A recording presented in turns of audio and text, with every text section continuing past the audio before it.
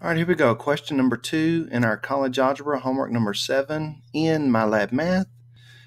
They've given us an exponential equation here. They want us to solve for t. So up here in the uh, screen, I've got the problem written down. Let's look at how to solve this for t. Uh, first of all, having an exponential equation, we could consider the method of common bases. However, we have a base of e and it's probably not going to be very easy to convert 0.31 to e to some power. So what we're going to use instead is converting this equation to logarithmic form. Okay, so here goes the poem again.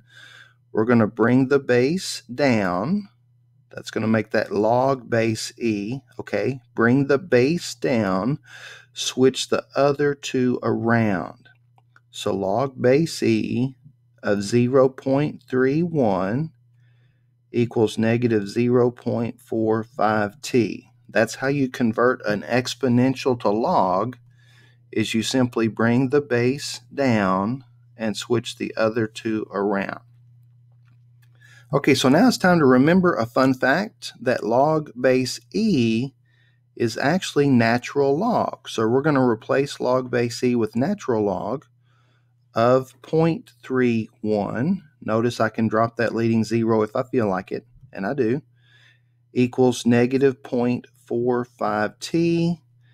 And then we're to the last step. If I want to solve for t, I simply need to divide both sides by negative 0.45.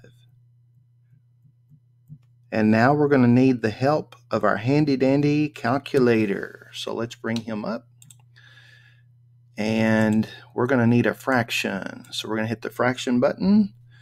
We've got the natural log of 0.31. Don't forget to close that parenthesis over negative 0.45.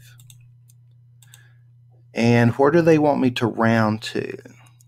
It says round to four decimal places. Okay, so we need to round to four decimal places. That's 2.6026.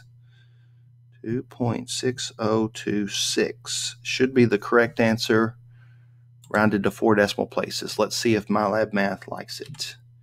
0.6026. Bam. There it is. I hope that was helpful.